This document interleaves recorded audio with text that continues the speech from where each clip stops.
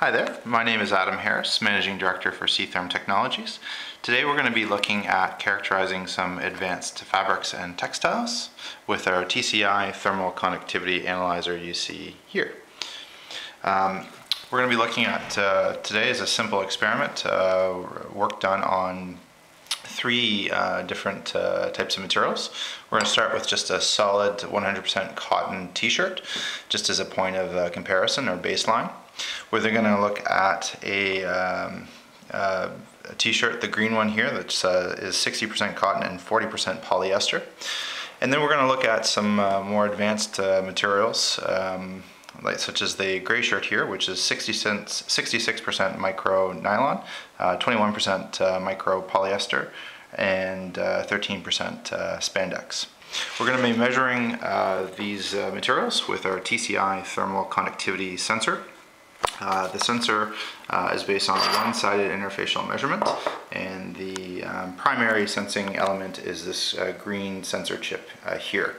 Uh, it's based on the same principle as how your hands can touch different types of materials and differentiate their thermal properties um, based on the buildup of heat between the sample and the sensor in the case of your hands or the sensor itself.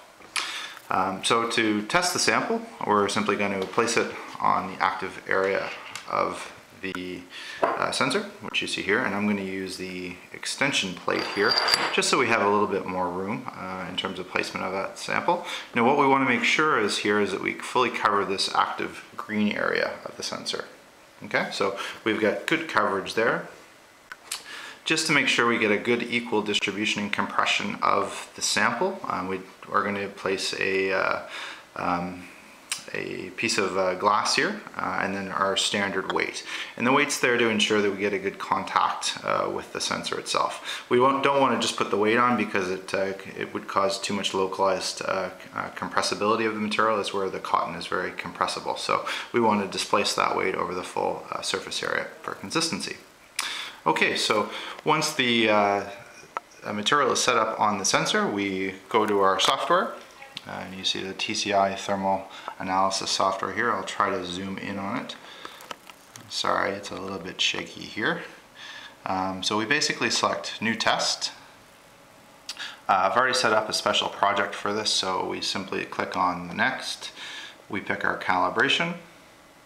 Uh, we're going to name our material. I've already inserted the name here as a cotton shirt. We click next.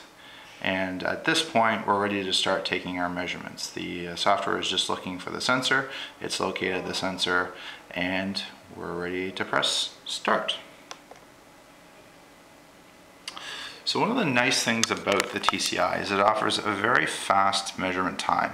Um, it typically, uh, you can get uh, five data points on a sample within five minutes. Uh, the measurement time itself is only one second, and the interval time between measurements is about uh, a minute. And that's just to allow the sensor and the sample to come back down to isothermal conditions so you can get a good, accurate measurement. So the status bar here is telling us what's going on and I'll try to zoom in on that a little bit. I don't know if it's uh, working well in terms of the resolution here, but uh, we have our first result back. Uh, we're getting a value of 0.076 uh, watts per meter Kelvin. I don't know if maybe we can zoom in there, try to clarify it.